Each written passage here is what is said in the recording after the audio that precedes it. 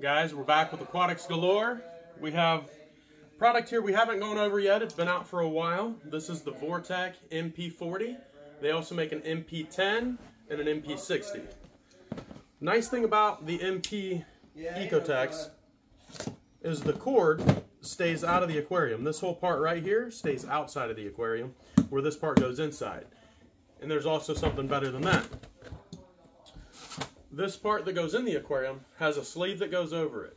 So you got to think, it's a second filter. A lot of people don't really think of it like that, but everything that's being pumped through this and back out, you are now filtering, and you're getting a couple thousand gallons an hour, which is huge. So this acts as a second filter. You want to take these off, clean them out, replace them pretty often because if you're pulling a bunch of water through it and you're using power to create waves in the tank, why not clean your tank at the same time? Two birds, one stone. What I really like is if you attach this to the outside of the tank, this to the inside of the tank, it's got a real powerful magnet on it. You can pop this off, soak it in vinegar to clean it, grab a replacement, and you can get these fairly cheap, around a hundred bucks. You get a backup, you put back on the tank, you're up and running. Why the other one's sitting in vinegar, soaking, getting all the nastiness out of it and then you pull it out of the vinegar, rinse it off, clean it off, set it to the side. When the one in the tank gets dirty, swap them out again. Really nice, really nice feature. Now you have a controller, and you can manually control it with this controller, or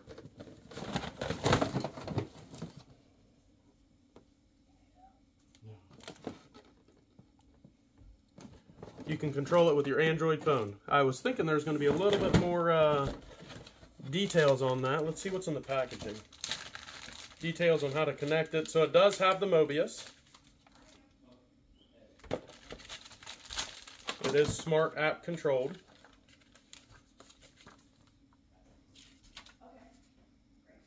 So there's a lot of different settings on it. And that's what this is going over here.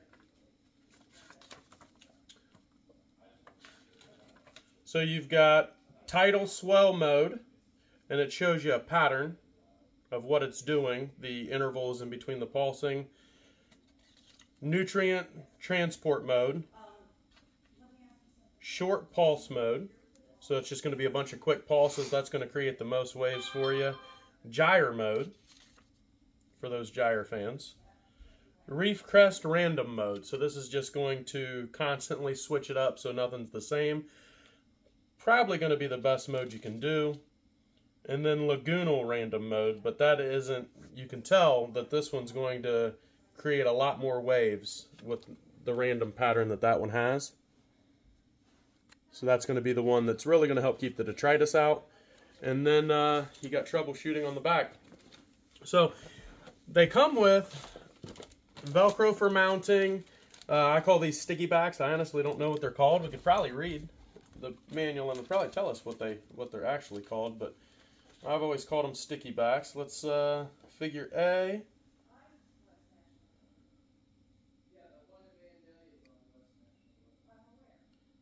Yeah, it just says peel the back from the adhesive tab. So, doesn't tell you what it's called. Oh, mounting tabs. All right, they call them mounting tabs. I call them sticky backs. But you can put these on the tank and use the zip ties that it comes with to connect the cords and then your Velcro to attach the controller wherever you want on the tank. So that is the VorTech MP40. Really, really suggest it. Uh, love the product. We've been installing them for years. Haven't done a video, so we wanted to get this on the line for you. Have a good one.